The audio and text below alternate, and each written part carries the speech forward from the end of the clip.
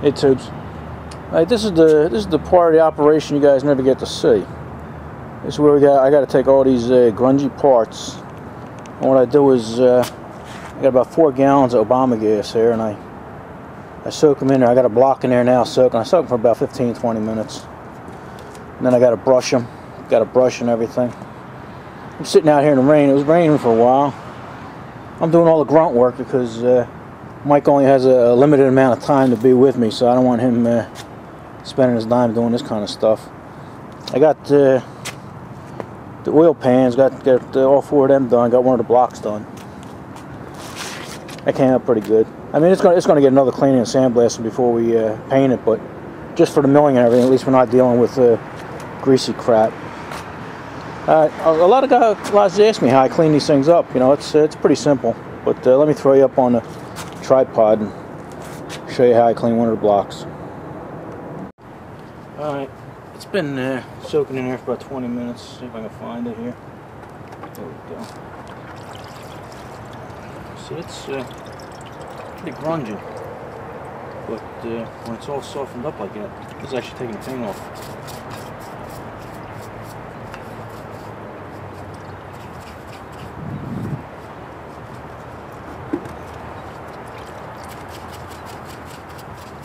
Got another parts brush in there somewhere. I can't find it though. Anyway.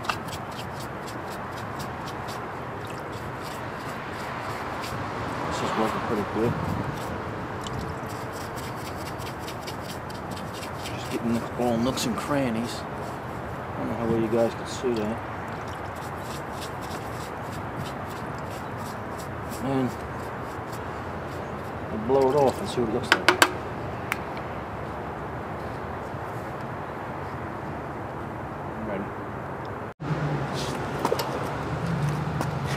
Alright, brushed all the gunk off. Now what I do is, uh, it's actually sitting on top of another block in there. That makes it easy to work on. So what I do is I take them out and I blow them off. Like I said, these aren't uh, these aren't paint ready. These just uh, get rid of some of the grease. I actually take some of the paint off I don't know if you guys can see that.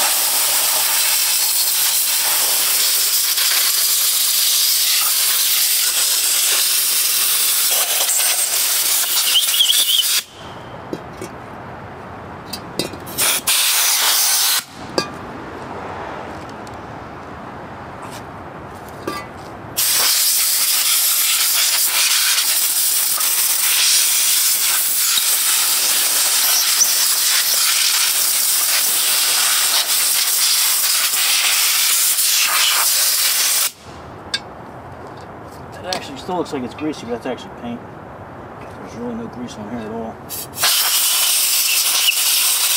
And the head, the head's actually a pretty rough casting. It's, uh, it's strange.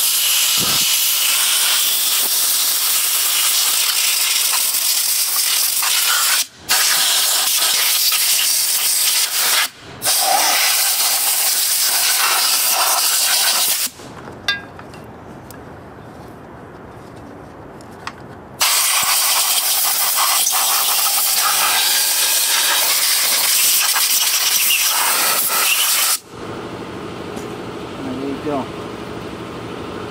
That one's all uh, greased, so at least we can work on it now without getting all greasy. And then the other one, I had the other, the other one sitting in there right now. So.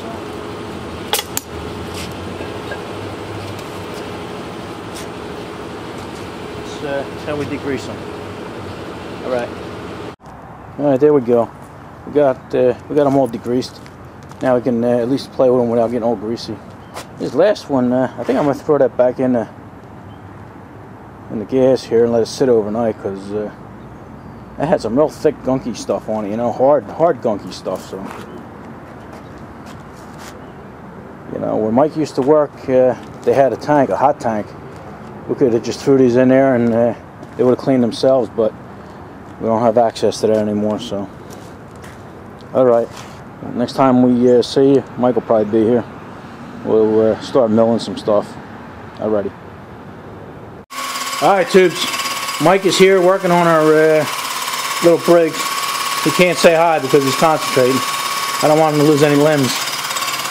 But he started he started using a, a regular end mill. It's a 3/8 end mill, but it was taking uh, too small of a cut and stuff like that. So what he's got on there now is a fly cutter. And it's, it's not taking much more. I guess it's what size is that, Mike? Uh, it's taking a, looks like about a one and a quarter inch. uh, One and a quarter fly. inch, so it's almost three times as much. Yeah, you gotta go slow, but it, you know, it leaves a finer cut behind it. So Yeah. It's nicer. That's working to good, yeah. Yeah. All right, so we're uh, working on this. After after we mill it, we're going to have to uh, cut some holes in it for the crank and uh, the cam. So we'll let him do that. Stay tuned.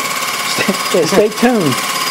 But, but since I got you on my on line here, look who we got here. Hey Tubes. It's a little dirt bike. What are you doing? you building a rocket ship or something? Yeah, yeah, working on the jet. You guys don't know about this yet. Oh, You will soon. you ain't gonna see it. I ain't Yeah. gonna show you. I ain't gonna show you what he's working on. But it's pretty exciting. So check out his channel. When's it gonna be on, kid? Uh, maybe tomorrow. Oh, oh, oh! You, you'll, you'll be on long before this is on. Yeah, I'll be up by the time you see. Yeah. All right. Let's get back. Let's get back to the task at hand here. All right. I got to prepare the, the next block for Mike. All right, So. We'll see you then. All right. After a long, hard day, me and Mike uh, were able to mill this, grind them, and mill them, and uh, get them so that they all smack close together. Good, nice job, Mike. Why don't you take one out so we can look at it, Mike? There we go. Yeah, we milled the sides so they all, all meet up nice and everything like that. Whoa, it's so shiny from the light, Mike. I just got a, a, Huh. a sun, I got a sun glare in my eye. Hmm. Did a nice job, everybody. Alrighty.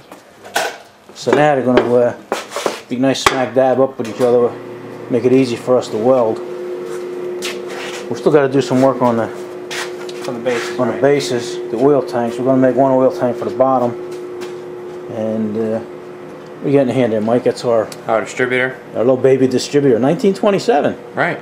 Chevy. And what do you think? Where do you think we'll put it?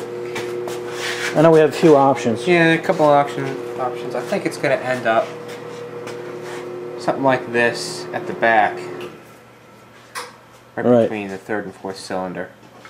That's right, because you, you know we got so much going on. Yeah, this side's gonna be crowded with the in, with the manifolds and Gonna the have yeah, and everything. the exhaust. Um, the front's gonna have the shroud and everything. We, we don't want to clutter the back up because where the flywheel might be. Right. And um, you know, I think that looks pretty. I well. think so. I think it looks okay there. It Doesn't have to be centered. I think centered. It's we. we're gonna have No, and if we're gonna we're gonna have a fuel tank somewhere too. right, remember, right. So that's that's a good idea. fuel tank is gonna be up, you know, and we'll On to one figure side. it out. So we're thinking right along here is nice. Yeah. Yeah, I think centered wouldn't look right because you're gonna have the the carburetor pretty much centered. Yeah, that's, that's right. The carburetor's gonna be here, and you Yeah. know, we're gonna spread it out a little bit. All right. What's our next move? Our next move is uh, welding them together. That's right. Okay. And then maybe a little uh, little dicking around here and there, figuring stuff out. But uh, Right. we still got we still got to bore holes in the side. Turn one of them sideways there, Mike. Yeah, we still have to uh, open it up. Still got to bore a So, uh, three and a half inch hole in there so the crank will go through. Right. All Not the there cranks. yet. Not there yet. Right. So that'll be our next move Yep. before we weld them. Ah, We're welding together. We can't do that. That would be good. Okay. long hole stop for that. Yeah. All right. So that's it. That's uh, that'll be enough for this video. Next video we'll get back to you. We got our buddies over here. Dirt bike way over there in the corner. Look at him. I see him. And Daddy dirt bike. Look at him. Put that back. All right. Say goodbye, Mike. See you later. All right.